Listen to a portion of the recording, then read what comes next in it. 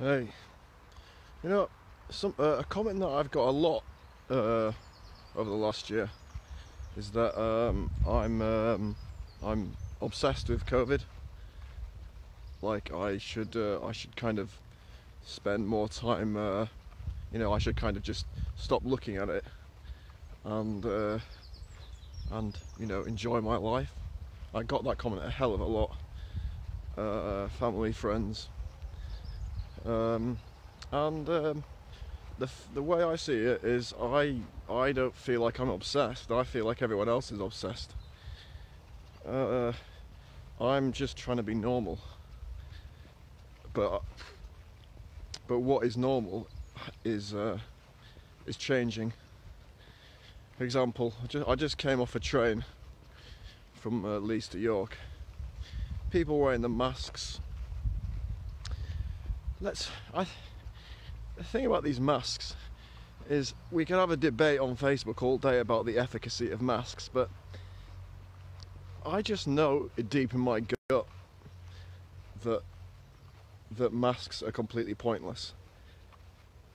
Um, because you're putting a bit of cloth on your face when you sit down on a train and you're not even sick you're just putting a bit of cloth on your face and then you get off the train you throw it off you know I'm, I'm pretty sure that not even one life has been saved by mask wearing and it's uh, it's it's just it doesn't take much common sense to see stuff like that. I don't think one life has been saved by social distancing. I don't think one life has been saved by the lockdown. I mean, you, you might be able to argue that maybe some murders didn't happen because because more people are inside. Some people avoided getting murdered, but I don't think there's any link between lockdown, social distancing, mask wearing. I don't think there's any link between all that stuff and uh, reducing death. Um,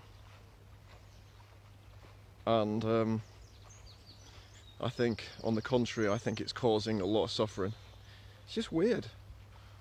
I don't like it. I, I, I didn't grow up in this in this fucking world where you you go to the pub and you put a mask on and you know then you social distance from people. It's just it's. Uh, it's it's it's really dark, and uh, I just I don't I know I'm not alone, but I don't I don't like it. I don't I don't, I don't want to live in this world anymore. Um, and I think people are putting up with it because they think it's temporary. Well, will someone let me know when it ends? And I'll be quite happy to make a video saying sorry I was wrong, but it's not. It's, it's when something goes on for a year and a half, it's not temporary, is it? When something goes on for two years, three years, it's not temporary. When something goes on for five years, ten years, not temporary. something goes on for a hundred years, is that temporary? I mean, everything is in constant change. You know, society and stuff like that. So everything is temporary in a way, but if some if you if you change society in a, in a profound way, and it stays and it stays like that for for for you know years and years, it's not temporary, and um, it's I think it's really pathetic to see people going along with this without question and thinking that it's not their problem. Uh, it's really disgusted me, and uh, you know I respect everyone um, everyone's choices, but I just can't believe how passive people are being. How uh, it's it's really shown me of this last year that people are just willing to just just basically do anything. If someone if, if someone in a, in a nice white coat who calls himself a scientist tells you to do something, people will do it. And uh,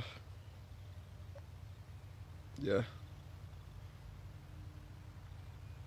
Yeah, some days some days I feel I feel pretty positive because I know there's a there's a load of people waking up, but some days I just feel like oh, I just wanna I just wanna move to a different country or move to a different planet if I could. But anyway, see you later.